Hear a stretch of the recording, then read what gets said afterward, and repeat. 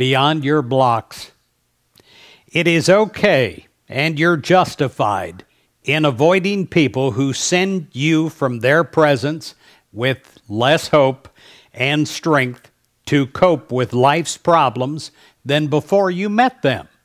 And you all know people like that. Well, just bless them and love them on their way. You are working with God, not with a source of negative people, to get beyond your blocks. In Isaiah 40, verse 29, it says, God gives power to the weak, and to those who have no might, God increases strength.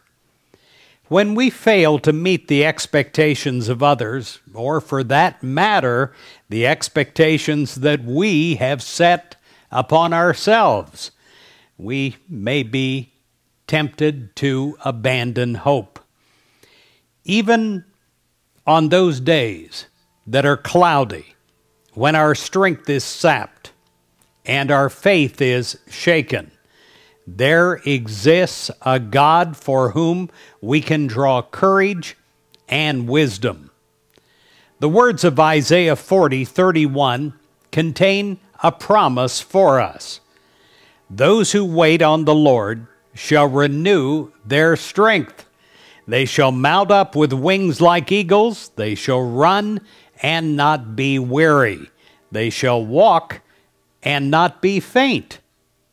So, if you're feeling defeated or discouraged, instead of giving up or giving in, wait.